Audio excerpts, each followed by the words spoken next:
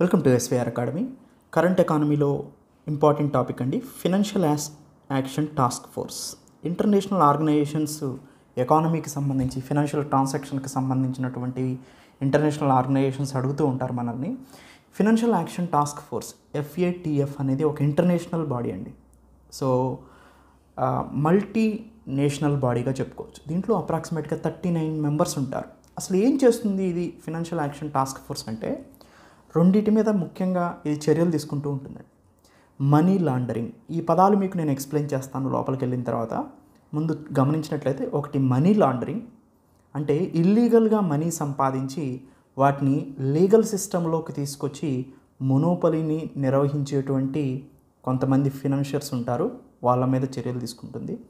రెండోది టెర్రరిస్ terrorism financing ఉగ్రవాద చర్యలకు ఎవరైతే మనీని సరఫరా చేస్తున్నారో వాళ్ళు. మనీ లాండరింగ్ మీద టెర్రరిజం ఫినాన్సింగ్ మీద ఇది ఉక్కుపాదం మోపుతుంది. ఇదే ఫినాన్షియల్ యాక్షన్ టాస్క్ ఫోర్స్. ఏం చేస్తుంది సింపుల్గా ఇదంటే ఏ కంట్రీ అయినా కానీ సపోజ్ ఇప్పుడు పాకిస్తాన్ తీసుకున్నారనుకోండి. ఫినాన్షియల్ యాక్షన్ టాస్క్ ఫోర్స్ చెప్తుంది పాకిస్తాన్ నువ్వు మనీ లాండరింగ్ చేస్తున్నావు. ఇంకొకసారి చేస్తే నిన్ను గ్రే లిస్ట్లో పెడతాము అని చెప్తుంది. ఇంకా వినలేదనుకోండి అప్పుడు దాన్ని తీసుకెళ్ళి బ్లాక్ లిస్ట్లో పెడుతుంది. గ్రే లిస్ట్ అనేది first time indicator. Black list అనేది కంప్లీట్గా బ్లాక్ చేస్తుంది. అలా బ్లాక్ చేయటం వల్ల ఏమవుతుందంటే కంట్రీ యొక్క ఫినాన్షియల్ రెప్యుటేషన్ ఇంటర్నేషనల్ స్టేజ్ మీద పోతుంది. అంటే శాంక్షన్స్ లాగనమాట. ఏ కంట్రీ కూడా ఆ కంట్రీకి లోన్ ఇవ్వదు. ఏ ఇంటర్నేషనల్ ఇన్స్టిట్యూషన్ కూడా ఆ కంట్రీకి లోన్ ఇవ్వు లైక్ వరల్డ్ బ్యాంక్ ఐఎంఎఫ్ ఇలాంటివన్నీ కూడా. అందుకనే ఫినాన్షియల్ యాక్షన్ టాస్క్ ఫోర్స్ అనేది ఒక ఐసోలేట్ చేస్తుంది ఫినాన్షియల్గా ఒక కంట్రీ అది చెప్పినట్టు కనుక వినకపోతే ఎవరైనా కానీ టెర్రరిజాన్ని ప్రోత్సహించిన మనీ లాండరింగ్ జరిగిన టెర్రరిజానికి ఫినా ఫైనాన్స్ చేసిన ఆ కంట్రీస్ని ఐసోలేట్ చేస్తుంది. Diplomatic tool of mass murder అంటారు.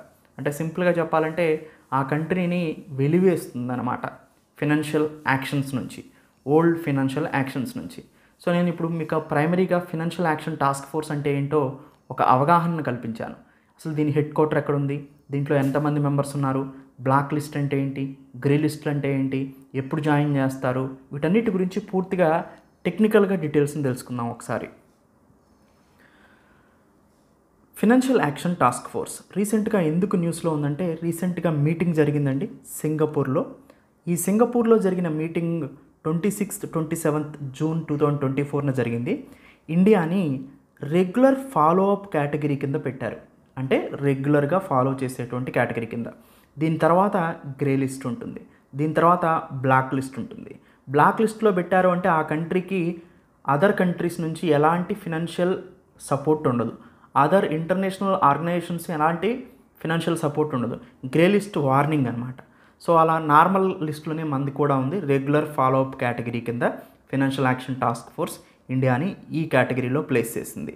సో దాదాపుగా anti money laundering and anti terrorism financing and anti proliferation complaints వీటి గురించి ఫినాన్షియల్ యాక్షన్ టాస్క్ ఫోర్స్ అనేది పనిచేస్తూ ఉంటుంది. సో ఒకసారి డీటెయిల్స్కి వెళ్దాం మనం. ఫినాన్షియల్ యాక్షన్ టాస్క్ ఫోర్స్ని నైన్టీన్ ఎయిటీ నైన్లో ఎస్టాబ్లిష్ చేశారండి. సో ఇది ఒక ఇంటర్ గవర్నమెంటల్ ఆర్గనైజేషన్ అంటే అంతర ప్రభుత్వ సంస్థ. అంటే ముప్పై తొమ్మిది దేశాలు కలిసి ఏర్పడినటువంటి ఒక సంస్థ. దీంట్లో గుర్తుపెట్టుకోవాల్సింది ఏంటంటే ముప్పై ఏడు దేశాలతో పాటుగా ఇంకొక టూ ఆర్గనైజేషన్స్ ఉన్నాయి. దీంట్లో యూరోపియన్ యూనియన్ కూడా ఒకటి. ఓకేనండి? ఫస్ట్ ఇది మనీ లాండరింగ్ మీద ఎక్కువగా చర్యలు తీసుకునేది. అయితే ఎప్పుడైతే ట్విన్ టవర్స్ మీద దాడి జరిగిందో అమెరికాలో టెర్రరిజంని ఫైనాన్స్ చేయటం వల్ల టెర్రరిస్టులకి ఎక్కువగా ఆర్థిక బలం చేకూరి వాళ్ళు ఫ్లైట్స్ని హైజాక్ చేసి కూడా ట్విన్ టవర్స్ని కోల్చగలిగే అంత ఆర్థిక బలం వాళ్ళకు వచ్చింది అందుకనే రెండు వేల ఒకటి నుంచి యాంటీ టెర్రరిజం ఫినాన్సింగ్ మీద కూడా ఇది దృష్టి సారించింది. అంటే టెర్రరిజం యాక్టివిటీస్కి ఏ కంట్రీస్ అయితే ఫినాన్స్ చేస్తూ ఉంటాయో ఆ కంట్రీస్ని ఐసోలేట్ చేస్తూ ఉంటుందన్నమాట.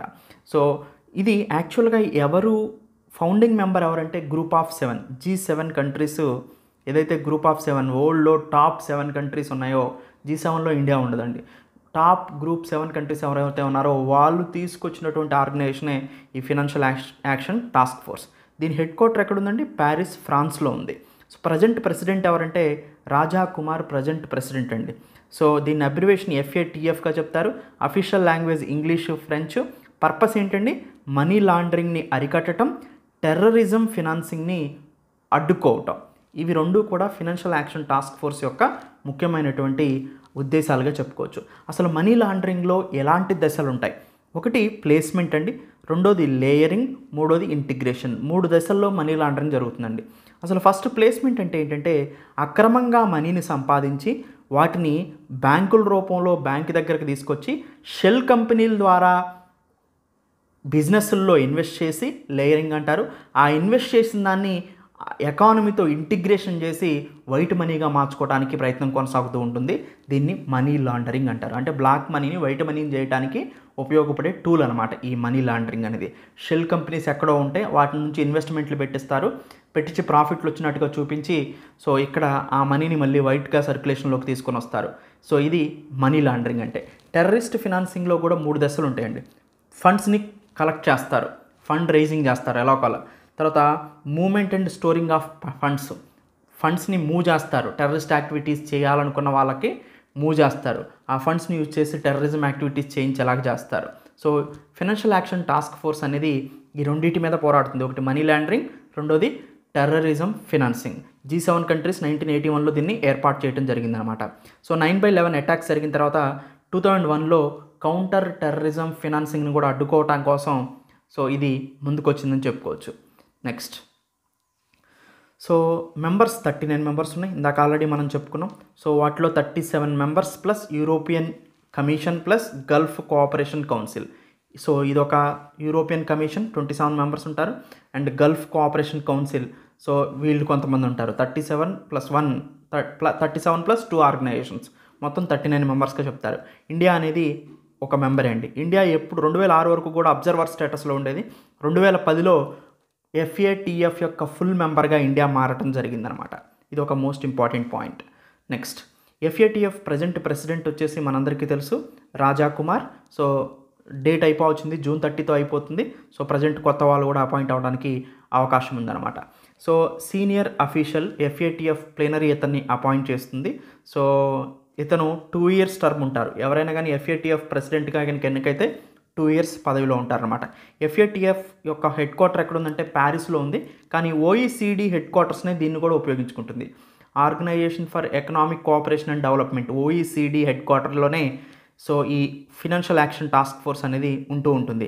అయితే ఎవ్రీ ఇయర్ కూడా వీళ్ళు త్రీ టైమ్స్ వీళ్ళు సమావేశాన్ని జరుపుకుంటారు. ప్రతి సంవత్సరం ఫిబ్రవరిలో ఒకసారి జూన్లో రెండోసారి అక్టోబర్లో మూడోసారికి. ట్రై యాన్యువల్లీ ఈ ఎఫ్ఏటిఎఫ్ ప్లేనరీ అనేది మీట్ అవుతూ ఉంటుంది. మ్యూచువల్ ఎవల్యూషన్ రిపోర్ట్స్ని వీళ్ళు సబ్మిట్ చేసుకుంటూ ఉంటారు.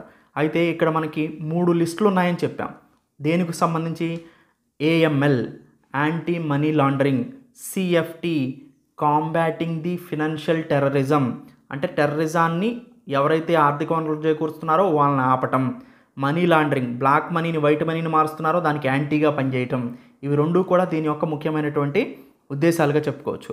Grey list and black list grey list ఏంటి? Safe haven for supporting terror funding and money laundering A countries అయితే ఆశ్రయం ఇస్తున్నాయో ఎలాంటి వాళ్ళకి?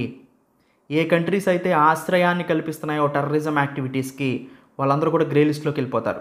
బ్లాక్ లిస్ట్ అంటే non cooperative countries or territories అంటే అసలు కోఆపరేట్ చేయట్లేదు ఇంటర్నేషనల్ ఆర్గనైజేషన్స్తో అన్ని కంట్రీస్తో కలిసి వెళ్ళట్లేదు. ఒంటరిగా పోవాలనుకుంటున్నాయి. ఎవరు చెప్పినా మాట వినట్లా. టెర్రరిజంని చేపడుతున్నాయి. మనీ లాండరింగ్ని చేపడుతున్నాయి. అలాంటి కంట్రీస్ని తీసుకొచ్చి బ్లాక్ లిస్ట్లో పెడుతుంది present Iran North Korea Myanmar ఈ మూడు కూడా బ్లాక్ లిస్ట్లో ఉన్నాయండి.